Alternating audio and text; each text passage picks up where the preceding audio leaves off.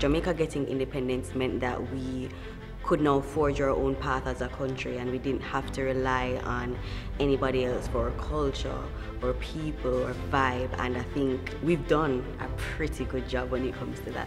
There is absolutely nothing, nothing that comes close to watching tracks with a bag of Jamaican. It's an amazing feeling to run for Jamaica. No other country I don't think gives you the the vibe and the excitement that running for Jamaica will give you. And so I'm very proud to rock the black, green and gold. My dream for Jamaica is that for Jamaicans to come together and to realize that each single one of us makes a difference. We have the responsibility to change, to be the change, and that is when things will become better.